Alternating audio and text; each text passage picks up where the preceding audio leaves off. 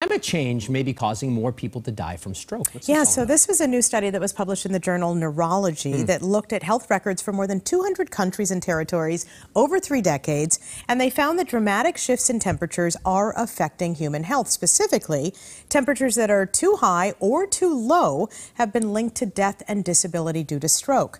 Researchers say low temperatures can cause blood vessels to constrict, leading to higher blood pressure, which is a risk factor for stroke. Higher, temp higher Higher temperatures can cause dehydration, affect cholesterol levels, and slow the flow of blood, which can also lead to stroke. So they're calling for greater efforts, of course, to address the potential causes of climate change, things like burning of fossil fuels, deforestation, and industrial processes. All right, let's talk a little.